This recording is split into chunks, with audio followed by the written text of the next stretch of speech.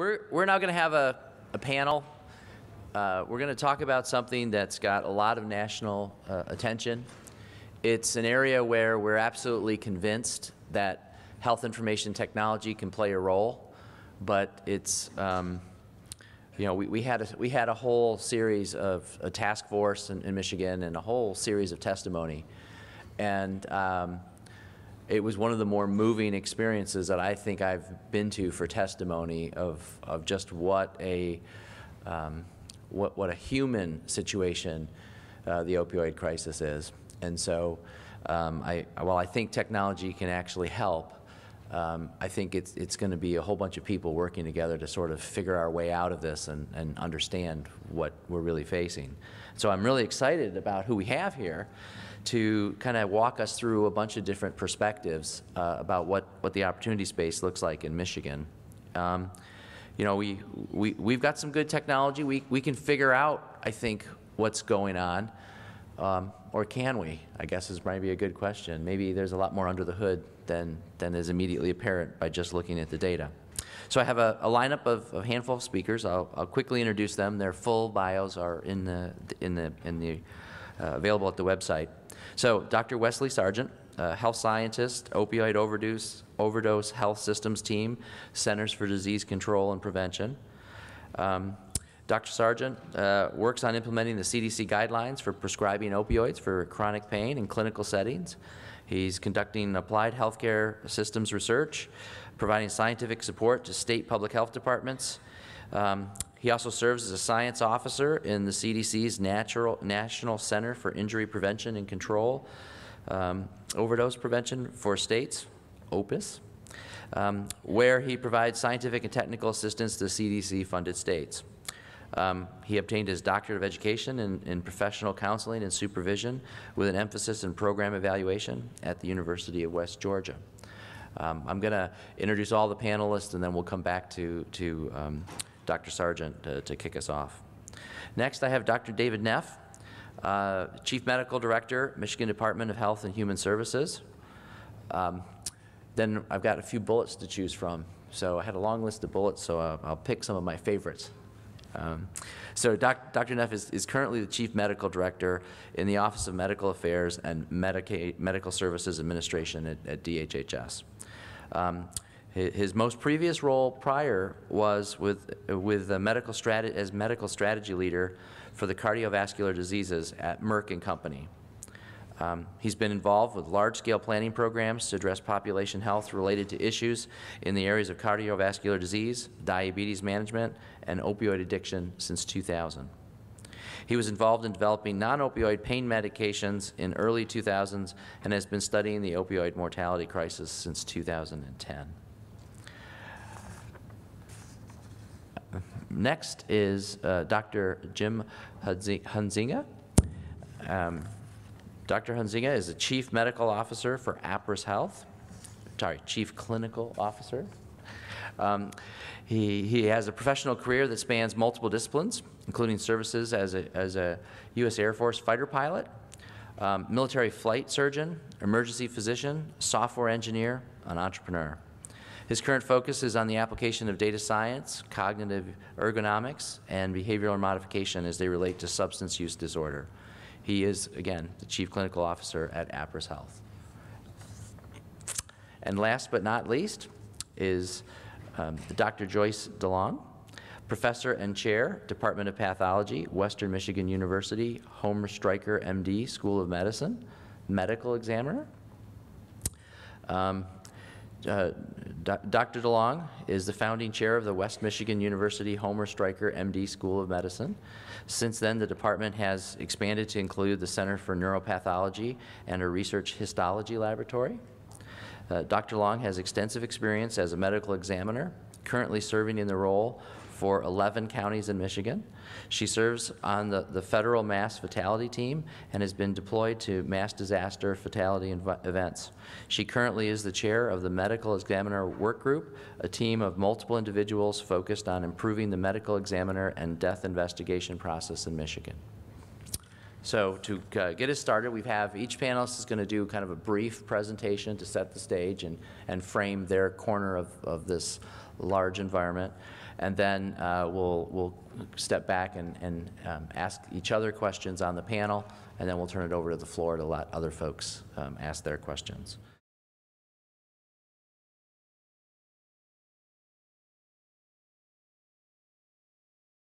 Well, thank you, Tim, and uh, thank you, Wes, for starting us off on a conversation where we can go uh, in terms of looking at large degree of information that we're dealing with in an environment where it is constantly changing.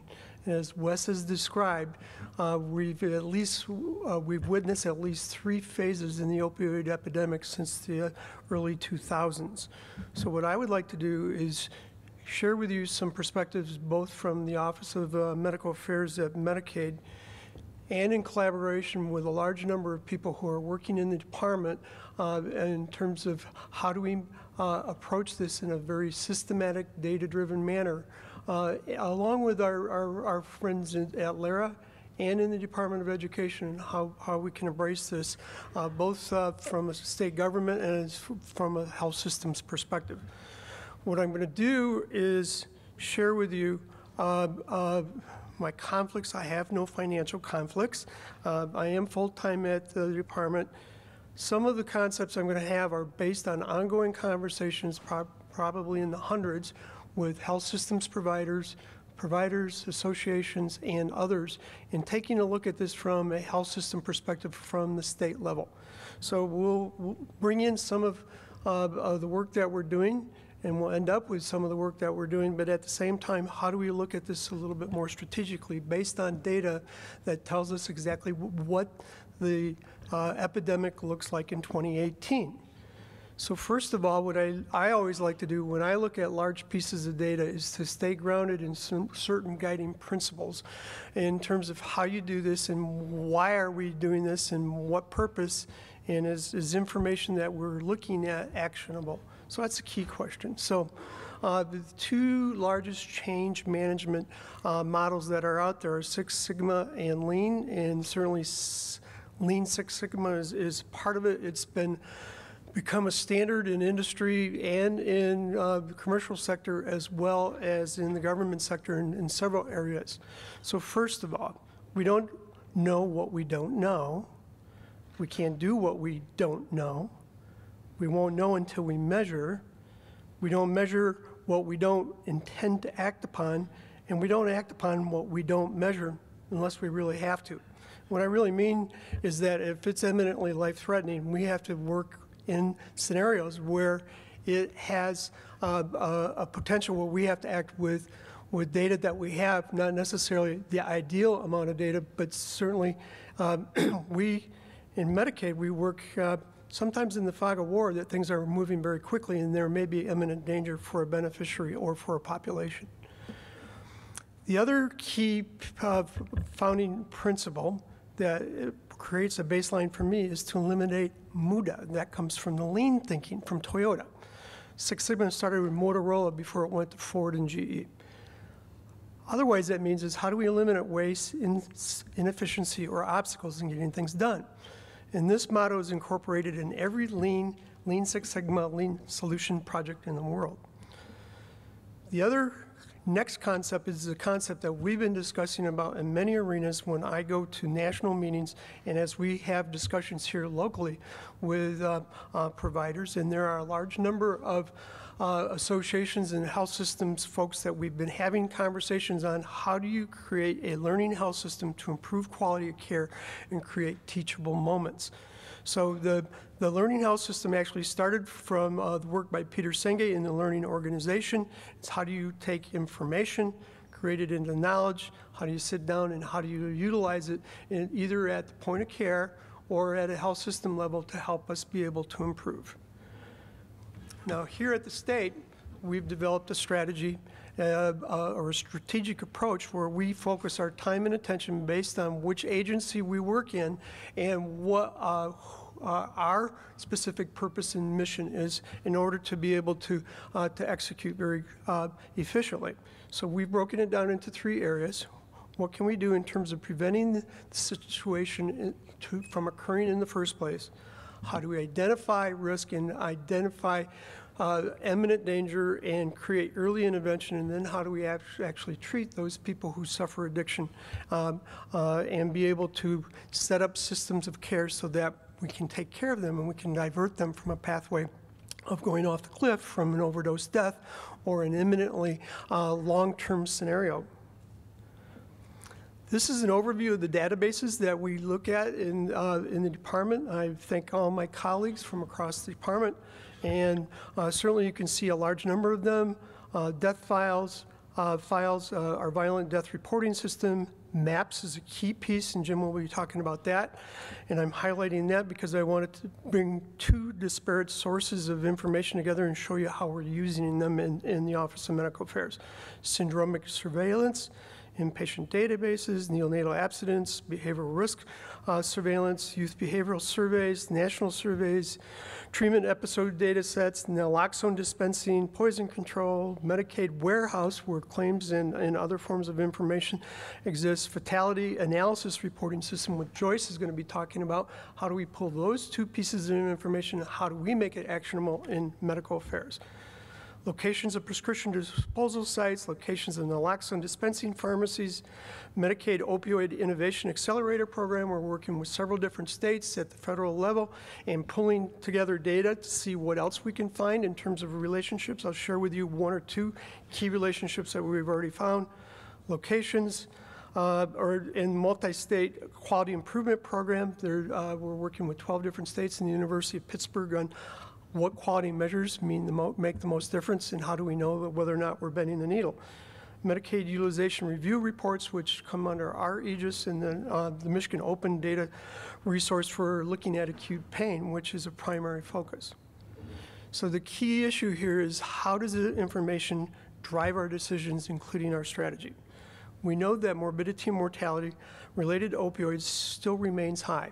And I'll show you some information that we're beginning to bend that trend, but um, um, uh, we have to ask the question, are we?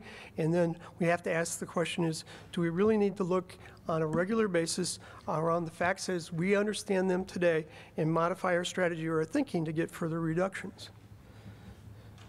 Wes has already talked about it. There are three key phases. One is the prescription opioid phase, the other one is the heroin phase, and the other one is the third phase. But most deaths, the ultimate endpoint, are related to fentanyl and fentanyl analogs and heroin, followed by prescription opioids.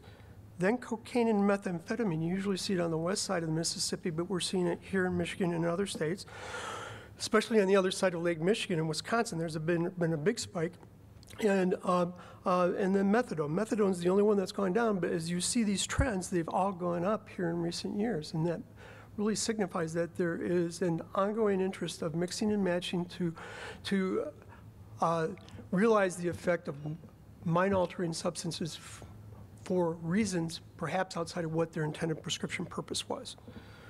So this is the data that came out. I didn't look at it today, but I've looked at it yesterday, and it's still from May. We see that this data that I just we just showed you, uh, uh, we ended up 2016 with just slightly less than 64,000 deaths. The growth rate was 25 point or 21.5 percent there, but we're beginning to see a slowdown, even though we don't see this. So we look at uh, month-to-month variation, and we've seen seen this uh, beginning trend that the trend is slowing down in terms of the death rate, but we're still seeing close to 69 or 68 over 68,000 deaths, which means a net increase. So we have a lot to work to do in order to slow down the death rate. Here in Michigan, we're seeing a similar trend, but perhaps even more striking. We don't quite know yet.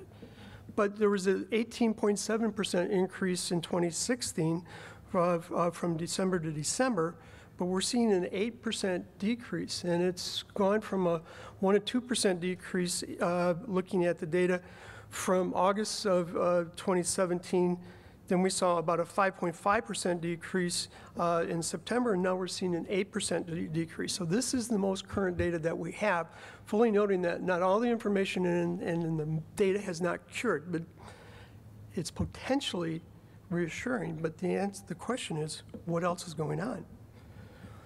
Based on the information that we've seen, based on a review of literature from Homeland Security, uh, the Drug Enforcement Agency, from C- uh, CDC, NIDA, looking at our own data, we've broken it down into four root causes. When the prescription opioid is the problem, when diversion is the problem of the prescription opioid, and when heroin is the problem, and when illicitly manufactured fentanyl, or IMF, is the problem. There are root causes for each one of them, but we have to kind of understand each of these four factors. Uh, the prescription opioid, there's still work to do. We're seeing some down uh, trends in terms of what's being prescribed, but is it far enough? It's being driven by pain as the fifth vital sign and HCAHPS surveys. But another key issue is, is when the prescription opioid is being diverted. Two thirds of the medicine in the, uh, in the medicine cabinet uh, is being obtained or by the primary person who received the prescription. Two thirds to three quarters of the prescribed drugs are bought, stolen, or given away. Leakage in the distribution system is a huge issue and a subject of uh, intense scrutiny by law enforcement. Lost in transit, armed robbery, nighttime break-ins, employee pilferage. And it is occurring here in Michigan, and uh, uh, we can perhaps spend some time on that at some other point. And then illegal backdoor sales and distribution through informal networks or organized crime. Heroin is the problem largely uh, distributed by six Mexican cartels. We know that there's at least two of them here in the state of Michigan. It's a $300 billion business in of itself where revenues are only outpaced by Walmart global sales. When illicitly manufactured fentanyl is the problem, it's typically coming from China, either directly to the, uh, the United States through internet sales and or through Mexico or Canada. And if it's coming through Mexico, sometimes it's coming in with heroin supplies where most of the heroin is coming from, not Afghanistan. And then it's many times be re- being reassembled by pill presses that are also being broken down, smuggled into the US, and then remanufactured into something that is far from what we would call good manufacturing practices uh, from, from a, um, a prescriber or from a drug manufacturer perspective, and what the FDA requires in terms of uh, purity of, of substances. It can be prepared for inhalation, including vaping devices that are now ubiquitous or for IV injection. So what's going on with prescription opioids? We found in a report from uh, uh, April of uh, uh 2018 by IQVIA Institute that we're seeing a decrease, a slight decrease since around 2010 in terms of the, the opioid prescription rate. And it's consistent in all the reports that we're seeing internally and with uh, uh, prescription data that's coming from the MAPS report uh, this year, prescription rates are going down. You're seeing high, uh, if you look at the left uh, right-hand panel, you see them dropping more, more uh, at a greater rate, similar but parallel rate for high-dose opioids versus low dose, but they're all coming down. And then on the far right lower panel, you're seeing an increase in buprenorphine and MAT-related therapies and a decrease uh, uh, in terms of the prescription rates. Here in Michigan, and this just uh, was released uh, uh, with LARA and the department, we're seeing 239,000 fewer prescriptions than two years ago. We're seeing an increase in MAPS in the left upper panel and we're seeing uh, uh, a decrease of multiple provider episodes just because MAPS is being used and people are, are collaborating and, and saying, uh, they're finding out when other prescribers are involved and they're having conversations or making decisions not to be part of that. On the far lower, right lower panel, you can see that there's still prescription rates higher uh, uh, north on the north of the Mid and in the Upper Peninsula, and then in other areas. But uh, then there's more difficulty in terms of access uh, to care.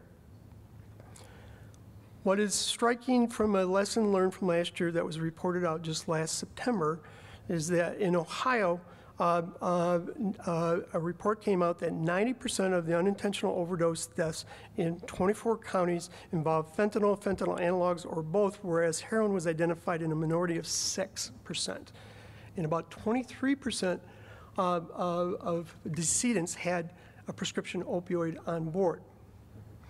You can see the list of the fentanyl analogs here. Some of them are catabolites, uh, or metabolites, and some of them are actually active drugs, and, and there's a large degree of experimentation going on in terms of taking some of these metabolites and making them the new designer drug. It includes uh, carfentanil and U47-700, which were seen in Michigan for the first time in October of 2016 after a large outbreak in Cincinnati um, uh, in, in August of 2016. First case was reported in Kent County in September. This is data that comes from a colleague who shows that uh, uh, of 30 deaths that occurred in Bay County, uh, who, uh, the colleague is an addictionologist and he's also a medical examiner. Of those 30 deaths, 28 had an opioid. Uh, one death was related to a benzo, and the other one was uh, alcohol and, and, a stimulant. 17 to 28 uh, opioids uh, on board were fentanyl or the fentanyl family. 14 of 17 of those deaths were bootleg non pharmaceutical fentanyl, and uh, no fentanyl was identified in any deaths four years earlier. What is really interesting here is you see a large amount of fentanyl and you see some hydrocodone, hydromorphine, uh, tramadol, and codeine, but when you do the analysis with MAPS, and this is a key takeaway, uh, another way to use MAPS is when you look at, uh, at autopsy data, you find that there is no correlation with MAPS data when you see prescription opioids on board. So the non-prescription fentanyl outpaced what was seen in MAPS in terms of a, uh, a, prescription fentanyl, but you also see the same thing with benzodiazepines. So um, about two to one in terms of the benzodiazepines. So even the Valium or the Xanax and whatnot was obtained through non-prescription means. And one might assume, but it's unconfirmed, that this was diverted uh, uh, controlled substances. So it's another use of MAPS in addition to finding out what's been prescribed and who's prescribing it, and, and if there's doctor shopping or inappropriate uh, prescriber behavior. The key issue here is in the end of uh, 2017, heroin and fentanyl are the two largest uh, uh, uh drug threats in com combination are 70% of the problem in terms of what the end user as uh, uh, defined by someone who responds to a survey by the DEA and Homeland Security says, on the street, this is what the biggest problem is. It's fentanyl and fentanyl analogs. So what can we do about this? How do we look at this? Number one is begin to model this out and taking all the information we have. Clearly, there seems to be two events going on at the same time. One is, and this is an evolving model that we've been working with with several stakeholders in various stages of discussion within the department and uh, outside of the department with our stakeholders. Number one is the prescription uh, pathway where the patient reports with pain and an opioid is, is prescribed. If they stay on it for too long, they'll become tolerant dependent within seven days, or tolerant within seven days, and the addiction becomes uncontrollable and may lead to cardiopulmonary arrest. And most recently, we've discovered a higher incident of permanent brain injury on those who survive an overdose in the field and are discharged from the hospital by about 10%. 10% of all brain injuries are now related to drug overdoses based on some early data that we've been able to evaluate.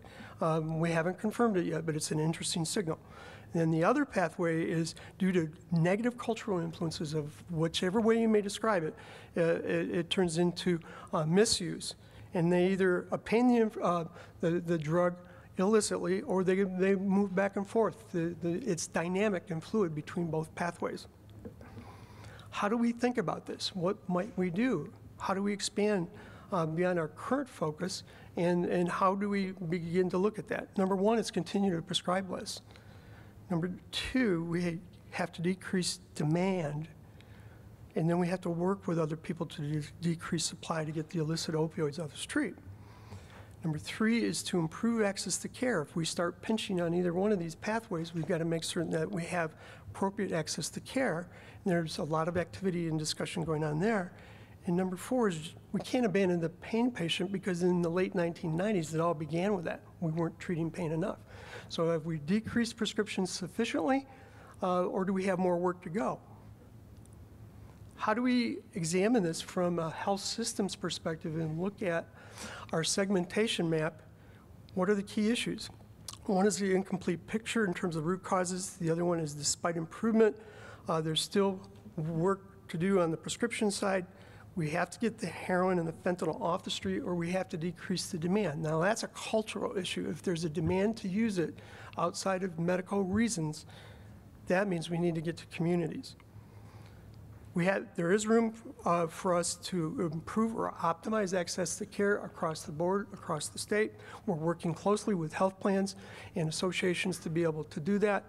And then despite stabilization, the death rate is still too high, so we have to approach it from all perspectives. Now, I'm not going to go into this into great detail, but if you start working on improving access to care to divert the pathway, that is one good start. And then you work backwards in terms of early intervention and risk assessment, and then you go further back in terms of prevention. And then you can begin to map it out. And you, even on the illicit side, you may ask, well, why wouldn't we just leave it to law enforcement? The answer is we cannot. We have to look at it and we have to figure out ways to change cultural mores and expectations. At Medical Affairs, we do the following. We now look at maps with every case, and when we review Suboxone or MAT uh, requests, and for large uh, uh, uh, dose, high dose uh, chronic use medication, or for acute pain, and we look at maps, NarxCare reports, but we also look at drug screens. It's a very important piece because MAPS isn't going to help us what's coming off the street because it's never been registered. Then we combine it with clinical information to look at clinical context. Is it justifiable? Can we see patterns? And is, is there a reason why they may be on a high dose or not? And then we begin to synthesize that. We apply it to guidelines, including MQIC, but it's really a synthesis of national guidelines, including the CDC guideline and ASAM. We look at it in many different ways, but in Medicaid, and with, from a payer perspective, when we work with Michigan Association of Health Plans and the medical directors and the pharmacy directors and the Medicaid health plans, we work on this together.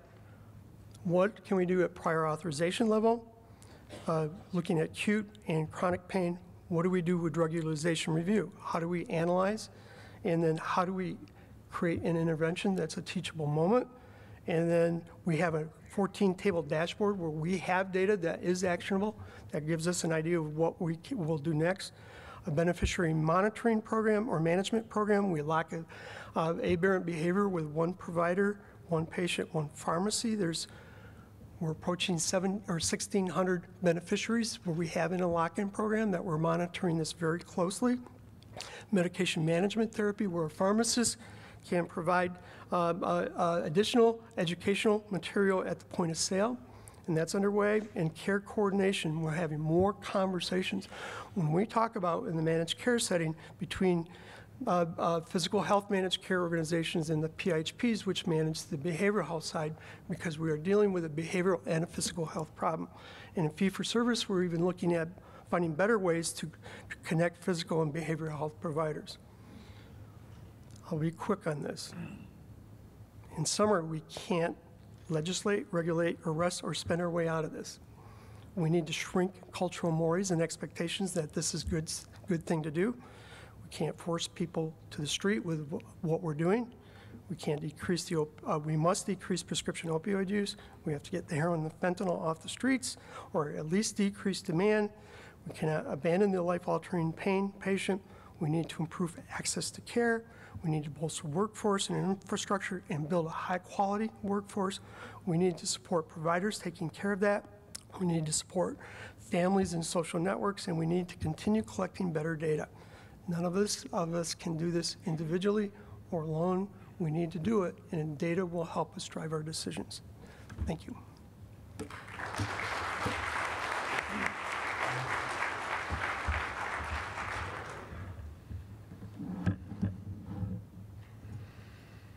All righty. well, I'm honored to be here today on this panel. Uh, again, I'm Jim Huizenga. I'm a Chief Clinical Officer for Appriss Health. Um, I'm going to move along fairly quickly here to make sure we have some time for questions. So, um, just briefly, uh, we're a company that you probably interacted with, um, but you probably never heard of. Um, we, uh, we run uh, pretty much the nation's criminal justice uh, victim notification system. Um, so that means that we have about 80% of all the booking um, and incarceration data in real time coming through our system so we can notify victims of violent crimes. We also uh, run a retail fraud division that is pretty much connected into every big box retailer, and we, we help pr- provide intelligence around return fraud, which is um, probably no, nothing here, uh, nobody's ever engaged in that in here, but you've probably all returned something. And when you did that, um, most likely that retailer communicated with us to get some intelligence on the appropriateness of that. And then we work in uh, Appriss uh, Health as well, our, thir- our third division with PDMP programs. So MAPS is a PDMP program, a prescription drug monitoring program. Um, Appriss, we provide uh, the software for about 42 states in the country. There's about 52 programs. Um, we also run a PMP Interconnect Hub, and that allows all the states to talk to each other. So each state has their own set of rules around data usage. It, it makes uh, imminent sense uh, to share data between the states because patients go back and uh, forth across the borders. Um, and we actually enable that. And about 20 million times a month, we're sharing data machine to machine across the states. So we're, we're having good success there. And, we, and we've worked very steadfastly on integrating because this data is only good if it can be accessed and used. Um, and we are in- active in 33 states. And as you'll see later on, we, we delivered about 300 million PDMP reports into workflow last year alone. Um, that footprint, uh, one of the things to glean from that footprint is, is that we as a company get to hear from 42 programs on what they need, what's working, what isn't, and it gives us the ability to kind of think forward a little bit and say, what's, wh- where are we going? So that's what I want to focus the rest of my uh, presentation on here is what's happening. So um, this is what a PDMP report looks like. I don't know if uh, everyone in the room has seen one, but this is a basic set of PDMP data. And, uh, what some people might see here is a report, and what other people might see here is a list of prescriptions. But if you're a physician and you're looking at this report to glean risk, uh, to, to make a risk assessment about a patient, this is what it looks like, okay? Um, now, I, it's not like my kids took out the crayons and did this. The point of the color is, is that each one of these colors and each one of those boxes is actually an important bit of data that you need to synthesize in order to build a picture of risk. Um, the data is incredibly important. I've been using this data religiously in my practice for uh, over a decade. Um, but at Appriss Health, we're trying to make that a little bit better. Um, so we have um, developed and deployed uh, a set of scores that now uh, come in on top of that data. They help gauge awareness to the amount of risk that's embedded in that report if you very carefully looked at it. Uh, importantly, these scores are not abuse scores. Uh, high score does not mean that you cannot prescribe a medication. We're very careful about how we educate people on these use, use cases for these. But uh, the scores really numerically represent the data and they allow it to be used uh, for essentially every encounter. Um, we've also, we, al- we do have a goal of, of providing the very best composite overdose risk assessment um, in a numerical format so that providers again can uh, stop and pause and slow down the encounter when they see risk like that. We're bringing additional risk indicators in and we're also graphing information out so that, you know, those individual patients who have those very individual um, care plans and individual histories, you can see the elements of that history in a way that allows you to personalize the care for the patient. So what you're seeing here is on the right is the data, but on top of that data is this analyzed and displayed and graphically enhanced version. So this um, really does help. Uh, if you are just looking at the manual data, the data itself, uh, you'll probably make good decisions a decent number of times, but we want to have providers make the best decision possible with a minimum amount of time because everybody's time compressed. So when you look at our overdose risk score and you compare, which takes into account many, many factors from a machine learned, very advanced data science team, um, and you look at the ability of that to find risk compared to just like a single factor like milligram equivalent dose, so the amount of medication someone uses is in blue, and the overdose risk score is in orange here. And what you can see is, as you would expect, a data science team that looks at the problem and creates a very complex model uh, can do better than just looking at one factor. So we continue to want to improve this. Um, so machine learning and scoring is really helping to advance the state of art when it comes to awareness. Uh, integrations is uh, the next big thing that um, we're working on. Um, our idea of an integration is, is that the PDMP data automatically shows up with no effort on the providers. Uh, um, And that means that sometime between when the patient arrives, either at the pharmacy or the doctor's office, or, and the provider gets in the room, or the pharmacist sees the patient, that the check has occurred automatically. Um, This is pretty important. Uh, We've done, uh, we have integrated with Kroger nationwide, and at one point in time, they had about half their pharmacies integrated, half not. And they did their own study, and they published this online, and what they found is that, as we would hope, you know, PDMP data is supposed to help the problem. As Dave said, uh, one of the things we need to do is reduce inappropriate prescription opioids in society. When we look at what uh, Kroger found on their own, they found that a 500% increase in PDMP reviews occurred, and the combination of the scoring and the graphics led to a 2.5% decrease in the number of opioids that were dispensed from the pharmacies that were integrated compared to the pharmacies that weren't. Um, So certainly some good evidence there that we're moving in the right direction. Uh, And again, the, the combination of integration, which happens automatically, and a scoring representation that does not harm the patient, does not label the patient, but allows the provider to understand the quantity and depth of data available and the risk that's there, really works. Here's an example of what it looks like to a provider. They're in their electronic health record, they're getting ready to go see the patient, and a series of scores from the PDMP, from MAPS, shows up automatically for a glance. And as a provider, I can tell you that after I understand how these scores work, I can look at them and in less than a second begin to incorporate the PDMP viewpoint into the care of the patient. It, it far surpasses the mandatory use. Um, it allows it to be, it allows the PDMP data to be used for every encounter realistically. Again, we had, we've integrated with every manufacturer to make this easy. We've talked with Epic, Cerner, NextGen, you name it. We've been working with them for two years. The integration is now built into the software. Most systems in Michigan do not have to do much at all to integrate.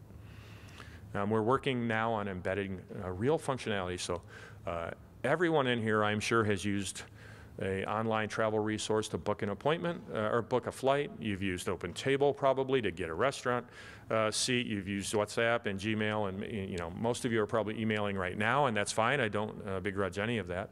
Um, but uh, you know, we are wanting to bring these types of high-end functionalities right into the PDMP. Um, and here's an example of that going live in Michigan later this year is the ability for providers to talk to each other directly through the platform. One provider to the next, as simple as clicking on a name on the report and you can talk to that person. Really good for pharmacists, I think, because so often they have so much to add to the equation, but they just have a communication barrier, so we're going to fix that. We have the CDC guidelines immediately accessible right inside the application. We have referral tools. Our goal is by this time next year that when you find a patient who's in a, has a problem and you want to get them assessed or get them an appointment, you can do that right through this, the platform with just a click or two. Um, we are uh, working on bringing non-fatal overdose, which is, if you think about it, a prescription drug monitoring program should be all about prescription drugs, but the problem is, as Dave and Wes have both pointed out, it's, it's morphing way beyond prescription drugs. So uh, an example of a non-prescription drug data point, non-fatal overdose, is, is incredibly important. We're bringing that into the PDMP. We're bringing it into the scores so that someone who has maybe very little controlled substance usage through, through as evidenced through MAPS, but who's had an overdose in the last year, the provider won't be inadvertently misinformed about the risk on that patient. We br we're bringing those viewpoints together. Um, and again, I wanted to be brief, uh, so I'm going to end right there. Thank you very much for your time.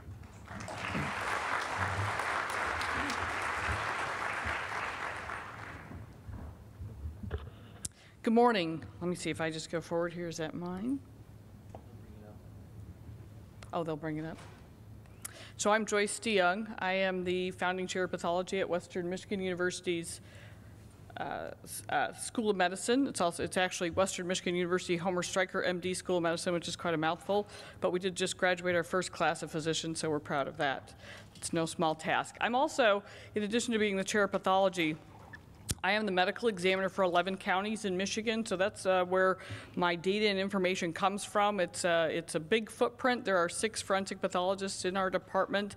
Uh, we cover a population of 1.1 million, a lot of square miles, and we have a lot of deaths reported to us, and we do a lot of autopsies. But this is kind of, our, our counties are not contiguous. The yellow ones are where I'm the medical examiner, and it seems a little odd, but we actually, you know, Grand Traverse and Leelanau, we skip down, we have Mason and Osceola, then Muskegon, and then the rest are all in southwest Michigan. The green counties there we perform the autopsies for, but I'm not the medical examiner. We actually also do some work for northern Indiana. So this is, these are the counties that, um, where, where my experience comes from. Uh, But, but I want to back up for just a second, because I think that there's one of these, um, you know, how do we know if a death is actually opioid or this is the theme of so, so many topics. It's like, well, it's a drug overdose. That's why they died. But, but that's more of a complex question. And it doesn't start with, um, it, it uh, in every time that, that a body is found or somebody is found dead or reported dead or even if it's at the hospital, actually most of our deaths occur outside of the hospital, uh, but there's an investigator who goes to the scene and they gather information and, and photographs and, and what they found at the scene and is there, is there uh, um, does, it appear that there's, there's uh, uh, illicit drugs at the scene or drug paraphernalia? A medical history is taken. We then perform a complete autopsy. In medicine, it, uh, it requires a complete autopsy to determine, uh, to make that diagnosis. And we follow that uh, and correlate that also with the toxicology. Our toxicology is very different. If you're a clinician and you work in an emergency room, you probably do urine drug screens, which picks up some things, but it doesn't pick up all these fentanyl analogs. And even if the level is low, it's not going to pick up your opioids. We make the diagnosis of drug related fatalities based on testing of blood. We do comprehensive testing as well as uh, testing for fentanyl analogs, other designer drugs as well. And, it, and the, the statement on the right there is from the National Association of Medical Examiners that the interpretation, you can't just look at a number and say, well, this is. Uh, uh, this is a drug overdose. It, uh, it requires a correlation with all of the other information that you gather. Uh, the longer I've been doing this, the numbers mean less and less to me, and you can't pull out a table and say, well, look, you know, their, their carfentanil level is really low, so it's probably not a carfentanil uh, overdose overdose. Usually, if you find one of those analogs, it, it's related. However, so that's kind of how we get to that conclusion. This is how it's supposed to be done. This is how we do it in all of our counties, and I think most of, uh, a lot of Michigan does it this way. There are other counties, though, that still, at, at this point, they draw some blood or they'll get some urine and they'll send it off, and based on what those findings are, without even really knowing if they've ordered the right test, have they ordered the fentanyl analog testing, uh, a, a determination is made, and they sort of figure, well, gee, if it, if the if I don't find anything, it must have been their heart. So so we do know that our data isn't complete.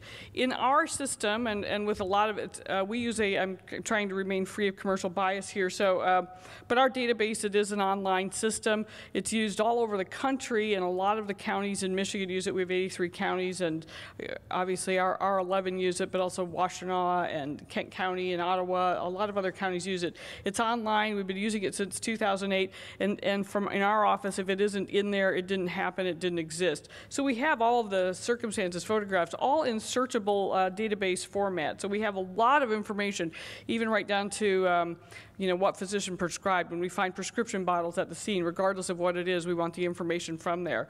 And what it looks like, um, we have a couple other features here too. So our toxicology laboratory has an interface with our, with our software system, and we can look at the toxicology results, and we just check off whether we think that that drug contributed to the death or not. If it did contribute, and it's a drug-related fatality, so in this case that I'm showing here, where I'm showing uh, the fentanyl, and the 6 monoacetyl morphine as well as the morphine. If you have morphine and 6 monoacetyl morphine, that, that equates to heroin. So by checking those three boxes, the death certificate uh, would be presented to me, and I have the ability to edit it, but it would show up as, as a um, fentanyl and heroin uh, overdose. Uh, the other thing that you see down there on, or on the right-hand side of their screen is something that happens at the scene. So our investigators are out at the scene and they find a bottle of, of, uh, of Valium.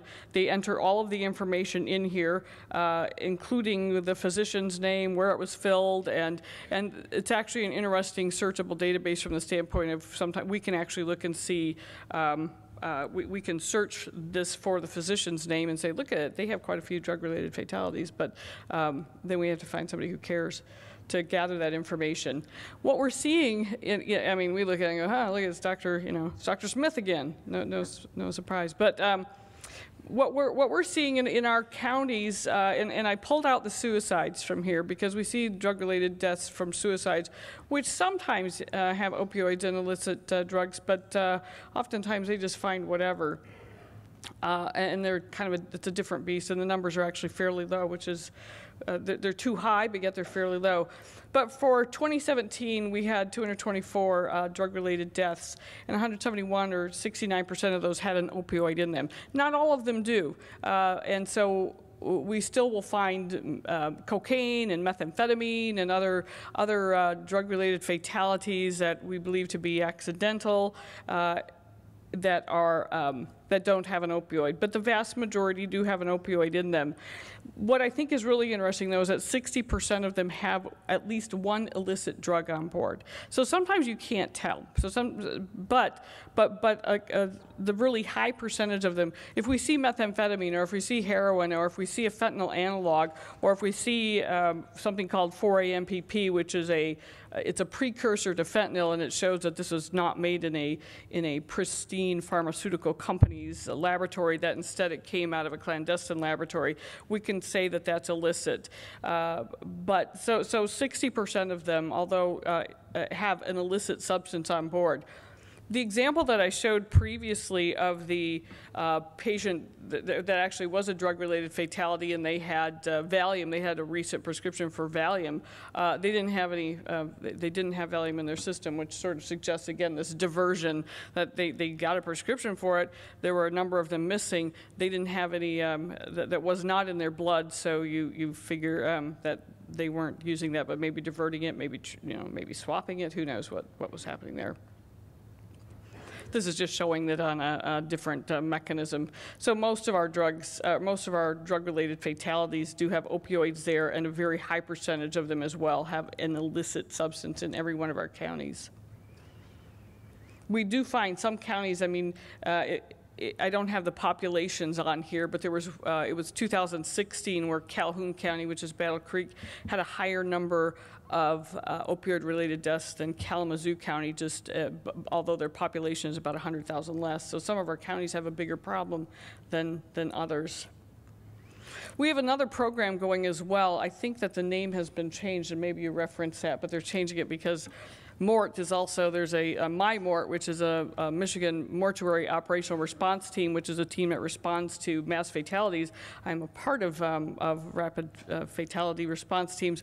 This was called MORT, Michigan Opioid Rapid Testing, but I, I don't know what the new name was. It looks like you had it.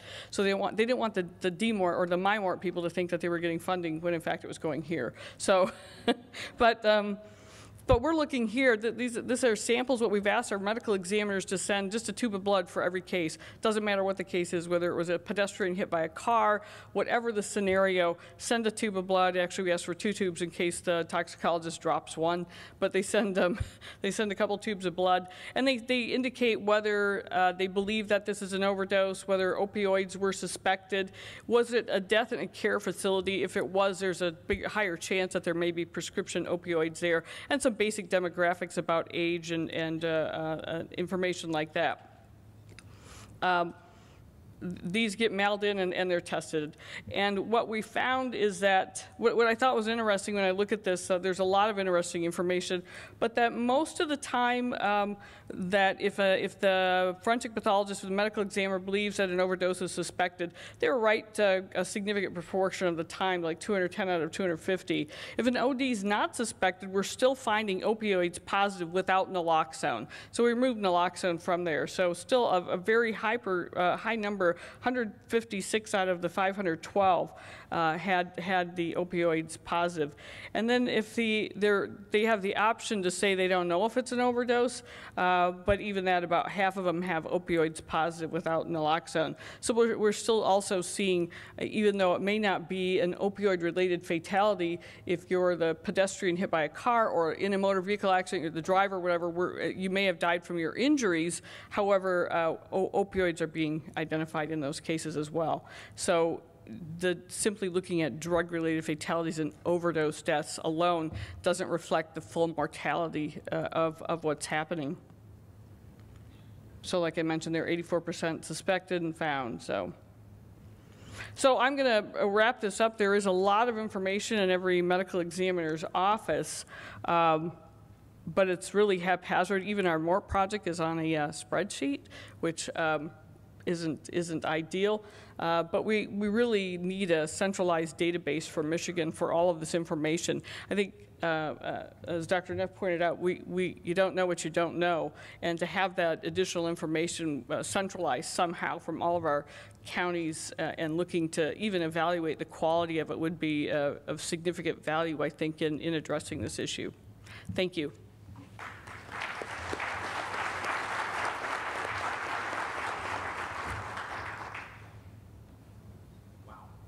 Okay. Um, Well, I'll- I'll- we- we've sort of gone through a little bit how um, these phases, okay? I mean, that, that seems scary. Um, What is it that we can do, I guess, that, um, you know, hospitals, other care facilities, examiner's office, the state, CDC, I mean, where, where's the intersection point here for everyone to, to kind of uh, add the technology equation in? You guys might have to share a mic. So, um, some of those pieces now are just um, kicking off now as far as the technology piece. Um, so I- think everybody's alluded to it, is finding um, the intersection where um, these data can intersect, where there can be integration, where it can be in the hands. So having the right data at the right time um, in a very digestible, action-oriented uh, way um, definitely facilitates that. So that's uh, some of the work that we've been doing with overdose prevention in states, um, trying to wrap up um, having rapid uh, and timely data um, in a quick manner so that um, the Department of Health, the State Department of Health, local Department of Health, um, all have that data. So um, as I alluded to on the second to last slide as well, is having that data and being able to push it out um, in a timely manner. Um, and then being able to, so I know uh, Joyce mentioned it as well, um, being able to um, have the integration as well. So um, having the medical examiners, having the coroners to be able to have that data when they are conducting their studies um, so they don't have to go and search it out. Being able to have um, an interface integrated into the PDMP or other sources of data. And so I know that um, CDC is continually to um, uh, continue funding um, states um, that have applied, um, whether it's through the enhanced uh, state um, over- opioid overdose surveillance or prevention for states or data-driven prevention initiative. All that is uh, going into enhancing and maximizing health uh, health IT, specifically some PDMPs. I know that there was just uh, some supplemental funding um, that went into the um, ESOS states. Again, that's the enhanced surveillance or enhanced state opioid overdose surveillance. And 60% of that funding had to um, go to really ramp up um, toxicology testing to really, because I know there's a, a heavy burden on the medical examiners and coroners um, to be able to strengthen that funding. So. I think if we go back to our segmentation map, it's really clear to me that we have to expand our thinking and redefine the epidemic as it exists in 2018. That's number one. And then number two is we can change our thinking on how we will address that. Uh, maybe in terms of continuing to press down, because I honestly believe there is room for improvement, and we are seeing a small percentage of outliers when we look at utilization review data and MAPS data. And uh, we are seeing some high morphine equivalent doses uh, for individuals that uh, when you do a MAPS report, it looks like it's probably being diverted. And a couple, few small cases where the doses are so high that it's unbelievable that they would be still alive. Uh, Number two is, is the diversion piece, is number, uh, not only in terms of take-back programs, that's a small sliver in time in terms of exposure time on when someone can get what's in a medicine cabinet. You have to put it under lock and key and make certain it's not on the, on the kitchen counter, in the medicine cabinet, on the coffee table, or um, in the car uh, without it being locked. So uh, I, I would really encourage that we, we talk about lock it up uh, and take it seriously. Uh, and there's some pretty amazing instances where people are pilfering medicine in, out of homes and then um, out of the workplace. Um, there are, the, in terms of what's going on in, in terms of the drug supply issue, I think we got to think clearly about that. I saw something in Allegan County, uh, a uh, transit uh, of uh, cargo van was involved in an accident, and the only thing missing was the prescription opioid. Now, it makes you wonder, was that an accident or what? So, uh, there, you know, in terms of supply chain, we need to continue to work on that. And then clearly, the, the use of the heroin is, uh, and the fentanyl is you're either addicted or tolerant to a prescription opioid, which we know there is an entry pathway there, or you've started it for pleasurable or uh, uh, uh, experimental situations, most likely at a younger age. Heroin is still the number one cause of uh, death in, in people between 15 and 19 uh, at this point. And then the uh, and then we need to, to we need to get in the community. There is an interest of the organized health system to work with families against narcotics and start getting down at the grassroots level along with the DEA. The DEA has some of the best educational resources around, and I would encourage everyone to go look at that and the community involvement in terms of them being there because they know they can't arrest their way out of that. So uh, those are, are good ways to start. And I'll I'll just. Someone in control of this? Yeah. Is it working now? Okay, great. Uh, I'll, uh, yeah, I think Dave and Wes have, have covered most of it there. I, I, would say technology intersection is, is around data, of course, but it's not more data. I think we, we have plenty of data. What we need to do is make the data more available. We need better data. And we need it more um, actionable. In order to do that, I would just contribute that, you know, we really need to think about as a system, everybody in the room, everybody at the tables up here, we need to think about breaking the data silos down and making it available to the clinicians and the pharmacists who ultimately are going to be the ones that uh, help the patients and, and help turn this. So, uh, whatever you can do to help break those silos down, make the information more available and more digestible is what I, I think is our best course. I'm just going to second that. As a medical examiner working with all of these counties, we have different hospitals in them, and one of our biggest challenges yet is just getting medical records on what, what was this patient's medical history, and we'll contact the hospital and they print it off and put it in the mail, U.S. Postal Service, and send it to us, or they will fax it to us.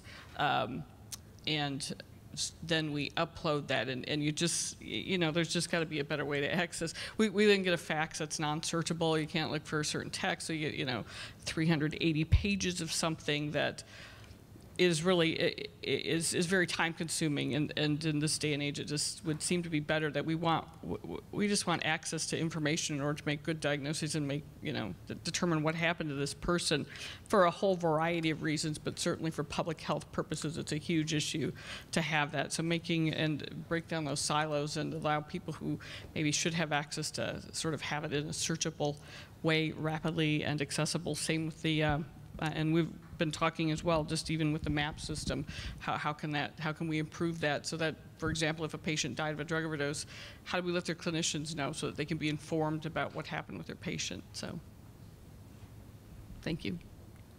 And I always think of other um, I, other uh, responses after listening to um, panelists. So um, one other piece I would like to emphasize too is really honing in and strengthening uh, local community engagement. Mean, that's huge right there. Um, so being able to fund uh, local community-based organizations, again, um, as I mentioned earlier, those are the ones that um, are able to best respond to those at risk. Um, and then also, I do want to highlight again also the um, coordinated care within um, healthcare systems. So, what I mean by that is really interdisciplinary uh, teams and inter- interdisciplinary approach. So, having uh, pharmacists, having uh, physicians, having um, psychiatrists or psychologists, having licensed clinical social workers, patient advocates, all of those on hand, um, so that there's the warm handoffs within the hel- healthcare systems that are able to uh, link those uh, people that have um, experienced a non-fatal overdose to the care that they need. So. You have a question up here, Yeah, I just one comment. I I think the- there's a sense of urgency to get it out of the autopsy uh, in the morgue, uh, get it to real time to the emergency rooms when that's the next intervenable point to the hands of the addictionologist to identify that. But how do we get this in real time where we see alerts and we may be able to avert dis- uh, disasters? So getting this information in real time so you can do something that's very actionable to prevent a death rather than wondering why someone died uh, uh, is, is going to be the key challenge here in the next 12 to 18 months. Uh, Thank you, Tom Simmer um, from Blue Cross, but also uh, co-chair of the Health Information Technology Commission in Michigan. And we are struggling with creating under a CDC grant um, awarded to people at the University of Michigan a statewide surveillance system for opioid overdoses. We also want to do this in a way that um, is consistent with other methods um, and avenues of reporting um, through the state, especially through the MiHIN hub. And I'm interested in any comments by the panelists. And incidentally, this was an absolutely fantastic set of presentations. All of you did a, a superb job, and I, I wish we had another hour to talk about this, but I know we uh, I, we've already are running over now. But if you have any advice to us as how we can make sure that we set up a really good surveillance system in Michigan that meets the need and also achieves um, using the current avenues of um, information transmission, I'd really be interested in your comments. I, uh, I'll jump in real quick on that. Um, how I think is really you're probably in a better position to, to do your, how, determine how, but from a goal perspective, as Dave was talking about with real time, you know, I, right now, you know, the the overdose death data that comes out that becomes informative is a year or two old, and the system should allow a feedback loop that can uh, inform clinical decision support within months, probably at the maximum of a, of a death um, because it's a it's a very dynamic problem and it's changing, and uh, it's ge- geographically changing, and those geographies as they change, you know, can help direct resources. So timeliness, I think, you know, if if you could push for a solution that can generate results, death data results in months rather than a year or two, I think that'd be the very best. I think as a person or representing an office where we get uh, so many requests for our data, it, it's a bit overwhelming. And uh, we're already, you know, like I said, we're dealing with faxed results and faxed documents that we can't even get the information. We're a fully staffed office. We have our, uh, we, we uh, over, nearly 100% of our reports are signed out within 30 days. So it's there. We're the exception, though. That's pretty unusual for medical examiner offices because there's a huge lack of, uh, or, or lack of numbers of forensic pathologists. But, but making it easier for the office to report it is what you need to do. And, and don't just say, well, you know, do this for us. Um, you need to provide assistance to do that.